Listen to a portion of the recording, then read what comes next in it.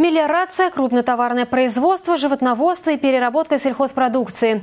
Это основные приоритеты в развитии агропромышленного комплекса региона, которые были обозначены в ходе отчета Министерства сельского хозяйства региона перед губернатором и членами экспертного совета. Агропромышленный комплекс нашего региона постепенно выходит на новый уровень развития. По данным министра сельского хозяйства, только за прошлый год, благодаря поддержке властей, в области значительно увеличилось поголовье крупного рогатого скота. По этому показателю мы вышли на 11 место в России, а по сбору овощей на второе. Так что регион возвращает себе славу всероссийского огорода. Однако, наряду с достижениями, есть и проблемы. Одна из них – недостаточное финансирование развития сельской инфраструктуры. И если на строительство жилья средства выделяются, в нынешнем году им будут обеспечены почти 600 500 семей, то вот с возведением объектов социальной сферы дело обстоит сложнее. Сегодня нам э, предстоит удержать, конечно, лучше развить, но хотя бы удержать в том, что досталось, то, что сегодня есть. Работы достаточно много.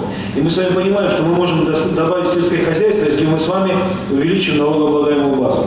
В ходе отчета была затронута и такая злободневная проблема, как африканская чума свиней. Сейчас в регионе делается все возможное, чтобы не допустить возникновения новых очагов инфекции.